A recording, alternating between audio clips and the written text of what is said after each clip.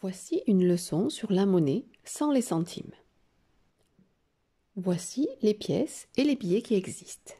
500, 200, 100, 50, 20, 10, 5, la pièce de 2 et la pièce de 1. Comment faire pour choisir les pièces et les billets dont j'ai besoin pour payer? Je voudrais acheter ce gâteau qui coûte 17 euros. D'abord, je décompose la somme à payer. Ici, 17 égale 10 plus 7.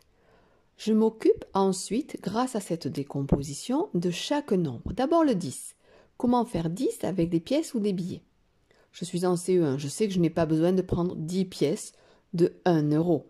Je sais que je peux prendre directement le billet de 10 euros. J'ai donc 10 euros. Maintenant, je m'occupe du 7. Comment faire 7 avec les pièces ou les billets Je pourrais prendre cette pièce de 1 euro. Mais mon porte-monnaie est vraiment trop lourd. Quelle est la meilleure solution pour alléger mon porte-monnaie, pour qu'il soit le moins lourd possible? Je vous donne une astuce. Je mets 7 sur mes doigts. Et là, je vois que j'ai une main complète. Je fais clignoter cette main complète pour bien voir que je peux prendre le billet de 5 euros. Il me reste encore à faire 2 euros pour avoir mes 7 euros. Je prends donc la pièce de 2 euros. J'ai donc besoin d'un billet de 10 euros, d'un billet de 5 euros et d'une pièce de 2 euros pour acheter ce gâteau. Je voudrais maintenant acheter cette jupe qui coûte 43 euros. D'abord, je décompose la somme à payer. Ici, 43 égale 40 plus 3. Ce qui me permet de m'occuper de chaque nombre l'un après l'autre. Comment faire d'abord 40 avec les pièces ou les billets?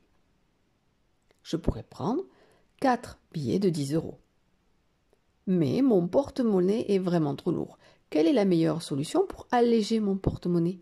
Je vais d'abord échanger deux billets de 10 euros par un billet de 20 euros.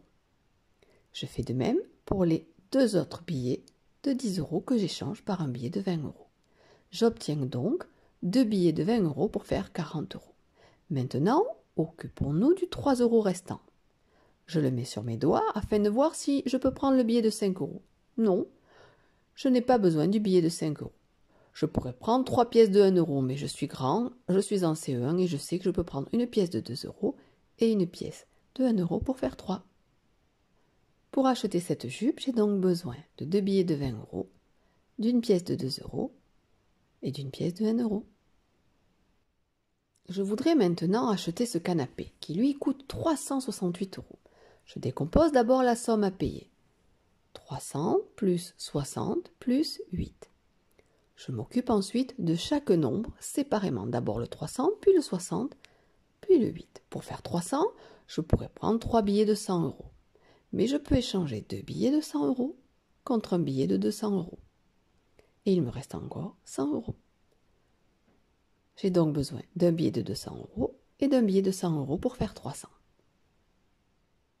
Maintenant, je m'occupe du 60. Pour faire 60 euros, je pourrais prendre 6 billets de 10 euros. Mais je peux échanger 5 billets de 10 euros contre un billet de 50 euros. Et j'aurai donc un billet de 50 euros et un billet de 10 euros pour faire 60 euros. Je m'occupe maintenant du 8. Je n'oublie pas la petite astuce. Je mets 8 sur mes doigts afin de voir si le billet de 5 clignote, s'il est utilisable. Et je vois que oui, je peux utiliser le billet de 5 euros, j'ai bien une main complète. Puis, je sais que pour faire les 3 euros restants, j'utilise 2 euros et 1 euro. Pour acheter ce canapé à 368 euros, j'ai donc eu besoin d'un billet de 200 euros, un billet de 100, un billet de 50, un billet de 10, un billet de 5, une pièce de 2 et une pièce de 1. Pour aider un peu, voici comment faire 1 euro, 2 euros, 3 euros, 4 euros, 5 euros, 6 euros, 7 euros, 8 euros, 9 euros,